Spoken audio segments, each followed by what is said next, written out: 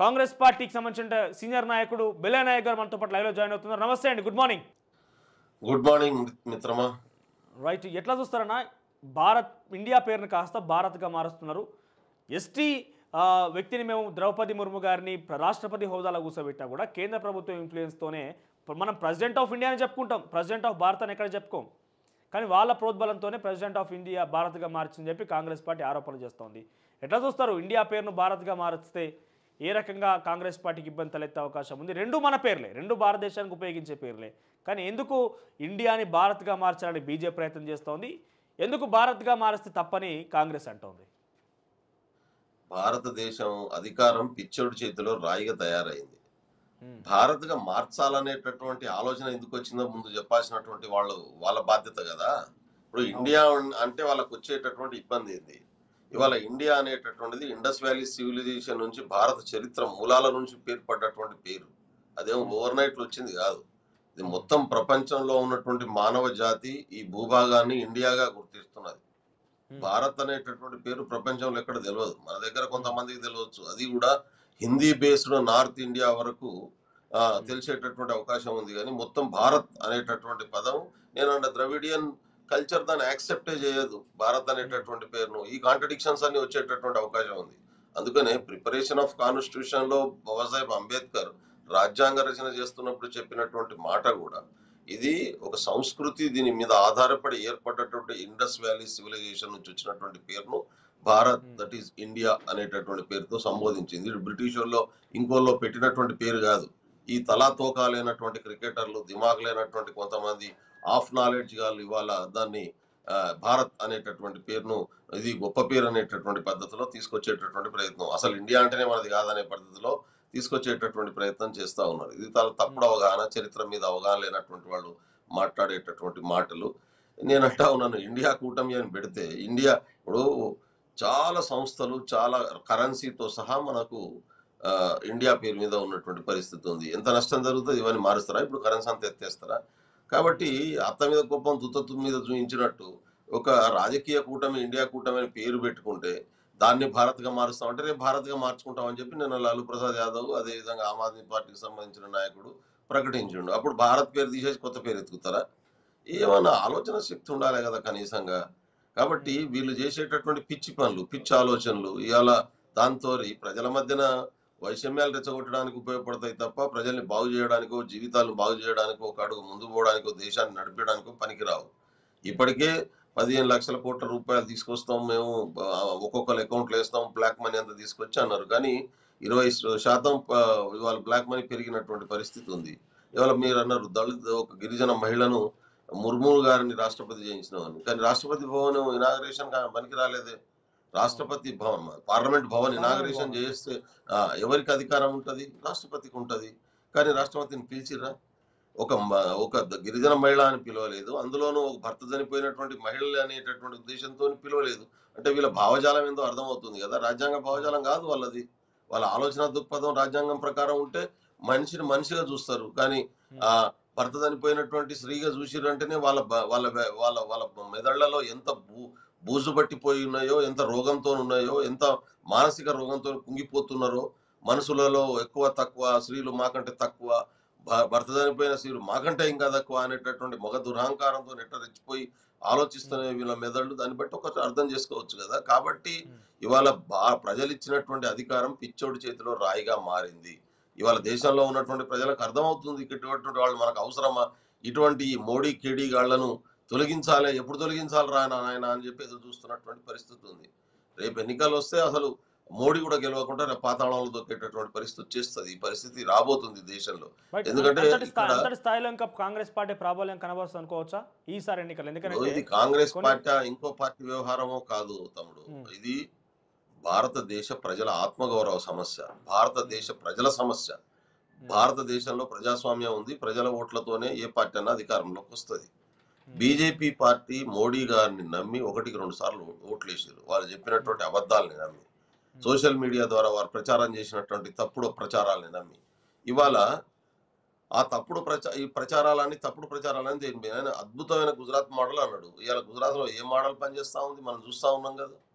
ఎందుకు ఆ- రోజు నాలుగు రూపాయలు నాలుగు వందల ముప్పై ఐదు రూపాయలు గ్యాస్ ఉంటే వాళ్ళు ఏమన్నారు ఆ రోజు? ఏ రెండు వందలకే వస్తుంది అన్నారు కానీ అలా పన్నెండు వందలకు కూడా దొరకని పరిస్థితి తీసుకొచ్చి దాంట్లో రెండు వందలు దాకా ఇచ్చినటువంటి పరిస్థితి మనం చూస్తా ఉన్నాం. అంతర్జాతీయ మార్కెట్లో క్రూడ్ ఆయిల్ ధరలు పెరగకుండా ఇక్కడ గ్యాస్ ధరలు పెరిగినాయి డీజిల్ ధరలు పెరిగినాయి పెట్రోల్ ధరలు పెరిగినాయి నాలుగింతలు నాలుగింతలు పెరిగినాయి భయంకరమైనటువంటి దోపిడీ అలా సామాన్యం చేస్తున్నటువంటి పరిస్థితి ఉంది. కాబట్టి ఇవాళ దేశ ప్రజలకు అర్థం అర్థమవుతా ఉంది. రెండోది ఏం ముంచుకొచ్చిందని ఏ కారణంతో ఇవాళ భారత్గా మారుస్తారో చెప్పాలి కదా కారణం ఏంటి అసలు? రీజన్ ఏంది? ఇప్పుడు ఒక సంస్థ ఒక ఇండియా అని పేరు పెట్టుకుంటది. ఆ సంస్థ ఇండియా అని పేరు పెట్టుకుంటే ఇండియా మొత్తం ఆ సంస్థకి వెళ్ళిపోతుందా? అది కాదు కదా. దాన్ని చూసి వీళ్ళు ఎందుకు ప- పేరు మార్చాలనే ఆలోచనతో ఉన్నారు?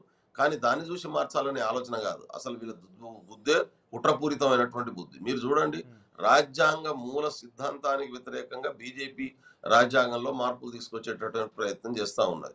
ఇప్పుడు రాజ్యాంగానికి సంబంధించినటువంటి జాయింట్ ఎలక్షన్ల పేరు మీద వాళ్ళు ఇచ్చినటువంటి గైడ్ లైన్స్లో ఏం పెట్టిండ్రు?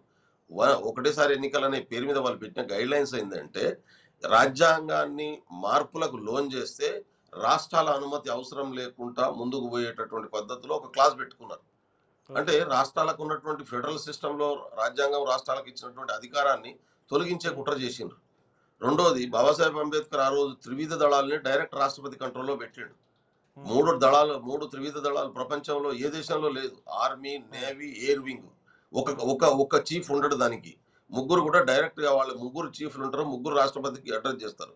కానీ వీళ్ళు సెంట్రలైజ్ అడ్మినిస్ట్రేషన్ పేరు మీద ముగ్గురికి చీఫ్ ఆఫ్ ఆర్మీని తీసుకొచ్చి పెట్టిరు సిబిఐని ఇంకో ఇన్వెస్టిగేషన్ ఐబీని తీసుకుపోయి ఒక చీఫ్ను పెడుతున్నారు. అంటే బీజేపీ సిద్ధాంతమే సామాన్యుడికి అధికారాలు ఇచ్చే డీసెంట్రలైజ్డ్ సిద్ధాంతాన్ని ఎత్తేసి దాని ప్లేస్లో సెంట్రలైజ్డ్ అడ్మినిస్ట్రేషన్ తీసుకొచ్చేటటువంటి కుట్ర చేస్తున్నారు. వాళ్ళు చేస్తున్నటువంటి కుట్ర ఇది. అది భారత రాజ్యాంగ స్ఫూర్తికి విరుద్ధం. స్ఫూర్తికి విరుద్ధమైనటువంటి మార్పులను ఇప్పటికే రాజ్యాంగంలో చేపట్టిండ్రు. ఇవాళ రాజ్యాంగాన్ని మొత్తమే బలహీనపరిచేటటువంటి కుట్ర చేస్తున్నారు. ఈ రాజ్యాంగం బలహీనపడితే ఎవరికి నష్టం జరుగుతుంది? సామాన్యునికి నష్టం జరుగుతుంది.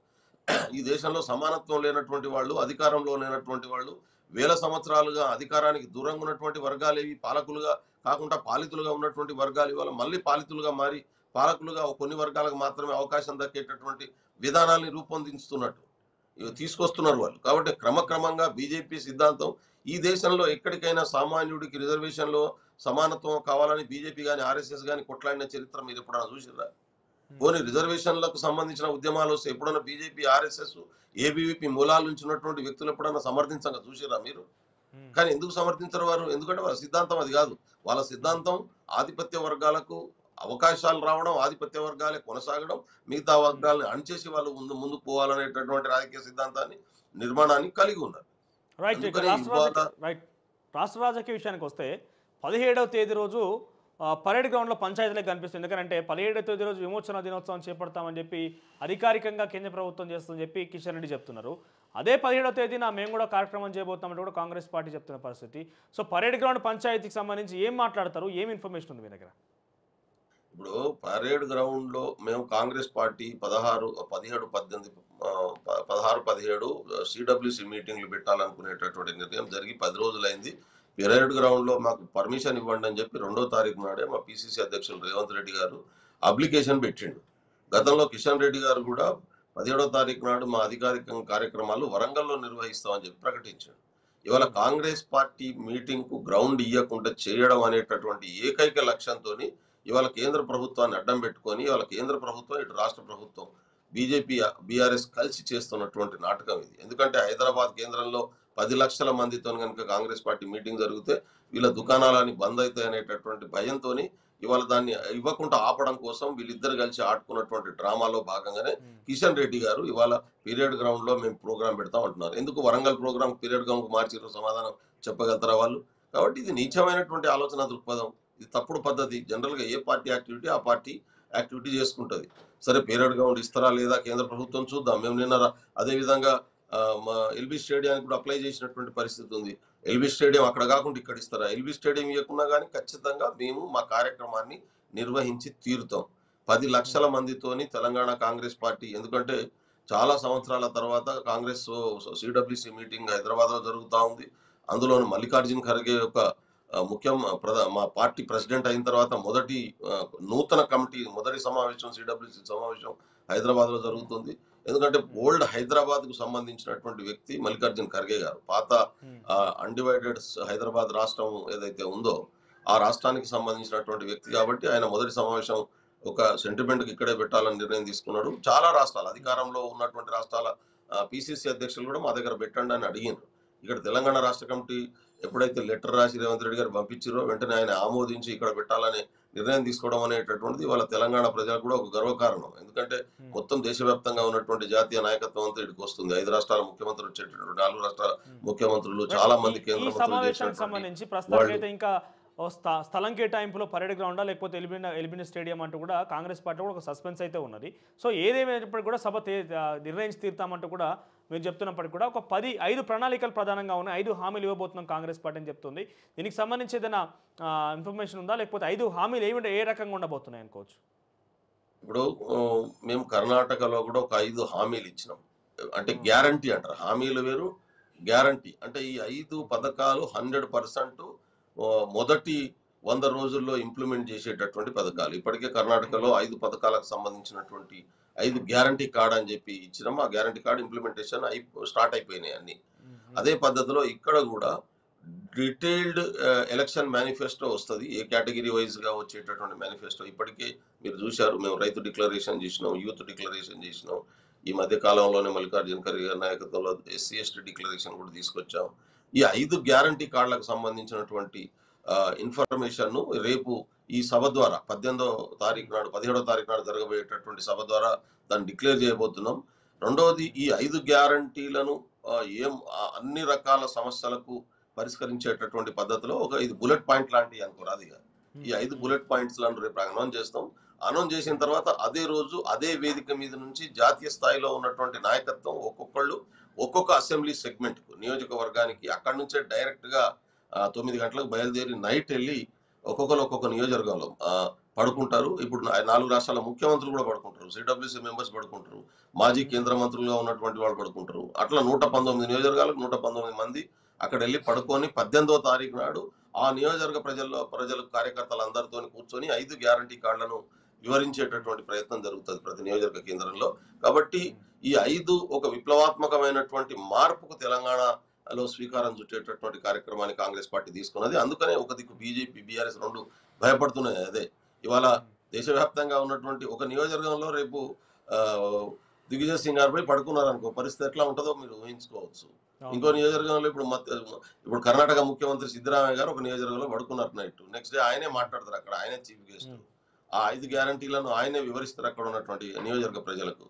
ఇట్లా నూట పంతొమ్మిది నియోజకవర్గాల్లో వీఆర్ ప్లానింగ్ ఇట్ పదిహేడో తారీఖు నాడు సాయంత్రం వెళ్ళిపోతారు. పదిహేడో తారీఖు నాడు జరగబోయేటటువంటి పది లక్షల మంది బహిరంగ సభ నుంచి దేశం మొత్తం కూడా ఇండియా కూటమి వైపు చూసేటటువంటి పరిస్థితిని క్రియేట్ చేయబోతున్నాం.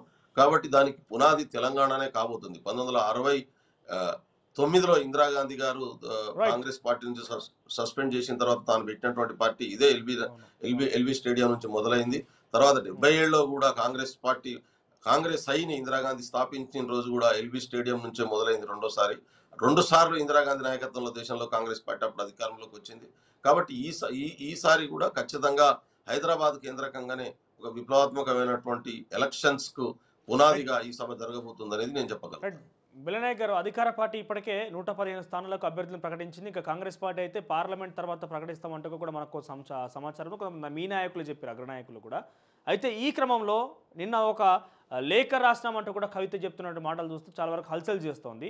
అధికార పార్టీ అయితే ప్రకటించింది కానీ ఇతర రాజకీయ పార్టీలు అన్నింటికి కూడా లేఖలు రాసి ఈ పార్లమెంట్ సమావేశాల్లోనే పద్దెనిమిది తారీఖు నుంచి స్పెషల్ పార్లమెంట్ సమావేశాలు ఉండబోతున్నాయని కూడా మనందరికీ తెలిసిన విషయమే. ఈ పార్లమెంట్ సమావేశాల్లో మహిళా బిల్లుకి సంబంధించి రిజర్వేషన్ కోసం అక్కడ కొట్లాడండి అమలు పరచండి అంటూ కూడా అన్ని రాజకీయ పార్టీలకు లేఖలు రాసింది. సో దీనికి సంబంధించి ఏం చెప్తారు మీరు? మీ ఒపీనియన్ ఏంటి? ఇప్పుడు కవిత గారు ముందు వాళ్ళ అయ్యకు లేఖ రాయమని చెప్పండి వాళ్ళ ఫాదర్ ఇంటి మూడు ధర్నా చేయమని చెప్పండి. మహిళలకు కనీసం టికెట్లు ఇచ్చేటటువంటి పని వాళ్ళ చేతిలో కదా బీఫామ్ ఇచ్చేటటువంటి అధికారం రాజకీయ పార్టీ అధ్యక్షుడి చేతిలో ఉంటది కదా. బీఆర్ఎస్ పార్టీ నూట పదిహేను స్థానాల్లో ఎంతమంది మహిళలకు కేటాయించింది? ముప్పై మూడు శాతం ఇచ్చిందా? పోనీ ఇరవై శాతం ఇచ్చిందా? కనీసం పది శాతం ఇచ్చిందా? కాబట్టి కవిత ఈ రాజకీయ డ్రామాల్ని బంద్ చేయమని చెప్పి నేను కోరుతా ఉన్నాను. నీకు చిత్తశుద్ధి ఉంటే నీకు మహిళల పట్ల ప్రేమ ఉంటే మహిళా రిజర్వేషన్ పట్ల ప్రేమ ఉంటే మహిళలకు సమానత్వం కావాలని కోరికుంటే ముందు మీ డాడీతోని మొదలు పెట్టామా మిగతా పార్టీలను అడిగేటటువంటి నైతికంగా నీకు నైతికత కోల్పోయినావు నువ్వు. నువ్వు ఏ పార్టీలో ఉన్నావో నువ్వు ఎక్కడైతే కొనసాగుతున్నావో ఆ పార్టీ నాయకుడు మీ డాడీ కేసీఆర్ గారు మీ అన్న కేటీఆర్ గారి ఇండ్లకు పోయి కూర్చో అలా కాలు పట్టుకుంటావా చేతులు పట్టుకుంటావా ధర్నా చేస్తావా నిజంగానే చిత్తశుద్ధి ఉంటే వాళ్ళ ఇంగడ ఇండ్ల కూడా కూర్చుంటావా ముందు నీ పార్టీ ప్రకటించినటువంటి వాళ్ళలో ముప్పై శాతం మహిళలకు టికెట్లు సాధించినాక ఇంకోళ్ళని అడిగితే ఆమె చెప్పేదానికి ఏమన్నా నిజంగా చిత్తశుద్ధి ఉన్నది ఆమెకు? మహిళ కోసం కొట్లాడుతుందని అనుకోవచ్చు. కానీ అది వదిలిపెట్టి రాజకీయ డ్రామాలను హైప్ క్రియేట్ చేసుకోవడం కోసం వ్యక్తిగత ఇమేజ్ను పెంచుకోవడం కోసం ఇటువంటి ఇష్యూస్ను వాళ్ళకి లేఖలు రాసిన వీళ్ళకి లేఖలు రాసిన అని చెప్పి డైవర్ట్ చేయడం కోసం అనేటటువంటి దానికి ఎవరు నమ్మే పరిస్థితి లేదు. దానికి ఏ విలువ లేదు. కవిత చెప్పేటటువంటి మాటలకు ఏం విలువ లేదు. ఆమెకు మహిళ మహిళల సమానత్వం పట్ల ఏ రకమైన చిత్తశుద్ధి మహిళలు అంటే ఆమె. కవితకు పది వస్తే మహిళలకు సమానత్వం వచ్చినట్టు ఆమె దృష్టిలో. అంతే తప్ప ఆమెకు మహిళ పట్ల ఏం చిత్తశుద్ధి లేదు. మహిళా బిల్లు సంబంధించి thank you thank you for joining us Belanayak గారు సో మొత్తం మీద మహిళలకు సంబంధించిన అంశంలో ముందుగా బీఆర్ఎస్ పార్టీ నాయకురాలు కవిత రాసేటువంటి లేఖ ఇతర పార్టీల కంటే రాసే ముందుగా కూడా సొంత పార్టీ నాయకులైనటువంటి తన డాడీకో లేకపోతే అన్నకో ఇస్తే బాగుంటుంది. ఆ పార్టీలో అమలు చేసినాక ఇతర పార్టీల వైపు చూడాలంటూ కూడా బెలనాయక్ గారు మాట్లాడిన పరిస్థితి.